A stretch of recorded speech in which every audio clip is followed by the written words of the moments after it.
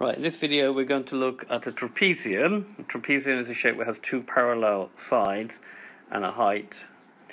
And we're going to use a little bit of trigonometry on it and then we're going to finally calculate the area at the end. So it says calculate the length AD, which is this length here.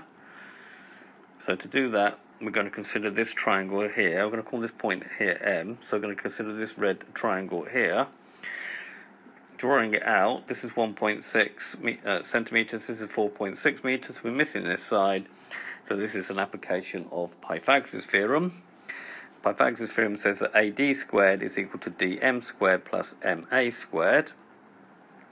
So AD squared is going to be equal to 1.6 squared plus 4.6 squared, which is equal to 2.56 21.16 added together that gives me 23.72 that's AD squared. I want to find AD so I need to take the square root of that which gives me 4.8703 which is 4.87 centimeters correct to three significant figures.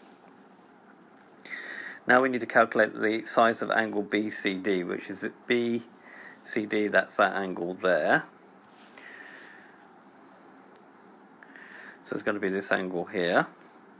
To do that, I'm going to make this triangle here. Call this point N. So I've got this length here, and this length here, and this length here. So I'm going to consider that triangle. That's the angle I need to find. I know this is 4.6 meters.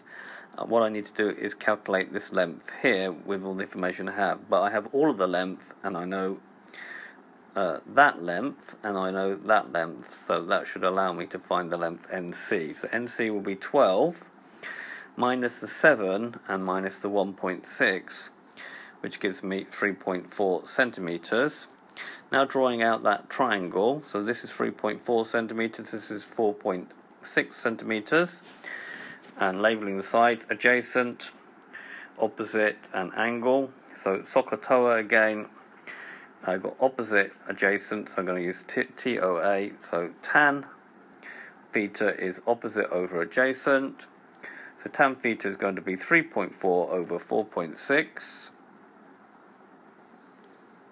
Sorry, I need to correct myself. It's opposite over adjacent, so it's 4.6 over 3.4.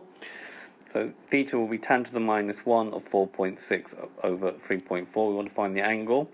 So it's inverse tan on our calculator. That gives an angle of 53.53 degrees which is 53.5 degrees. Now in the last part we need to find the area.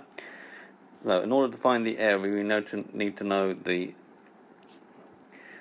this call this side A and call all of this side B and we've got the vertical height between them and so the area of a trapezium is going to be A plus B times H divided by 2 so A will be 7 plus b, which is 12, times the height, which is 4.6, divided by 2.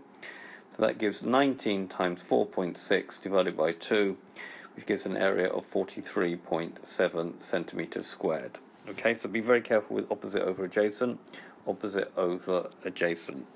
Okay, so there's been a video using trigonometry on a trapezium to find some angles and a length, and also then to find the area of a trapezium.